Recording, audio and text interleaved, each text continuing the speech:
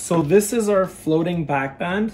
Um, and basically this is for um, usually more advanced paddlers that like to Eskimo roll or need a lot of movement um, in their cockpit.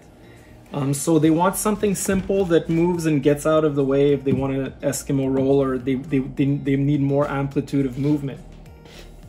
The way this adjusts is it's done with three basic uh, tools, which are two bungees up and down here, which you can tighten or loosen with these little knobs here. And then one buckle here, which you can either loosen or tighten depending on how much forward you want it. So for instance, I'm gonna set it, if I put it really tight, you see the seat is here.